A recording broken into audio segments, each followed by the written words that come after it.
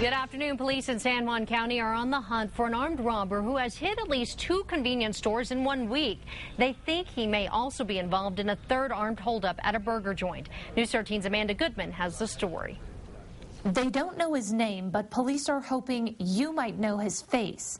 They say this man, seen here on surveillance video, is responsible for at least two armed robberies at two different 7 to 11 stores, one in Farmington and one in Kirtland. We have several different factors that lead us to believe that they are related or they were committed by the same person. During both robberies, police say the man walked around the store as if he were shopping, waiting for other customers to leave before approaching the cashier, pulling out a black handgun and demanding money.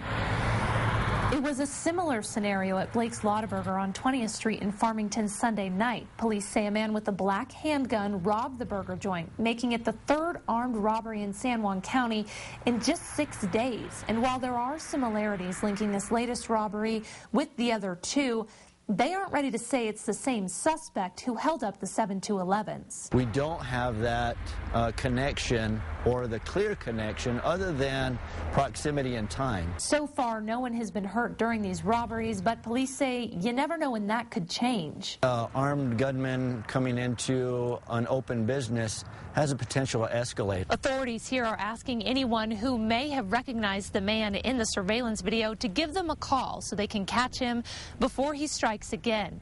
In Farmington, Amanda Goodman, KRQE News 13. If you recognize a suspect, you can remain anonymous by calling Crime Stoppers at 334-TIPS. If your tip leads to an arrest, you could get a cash reward. Border Patrol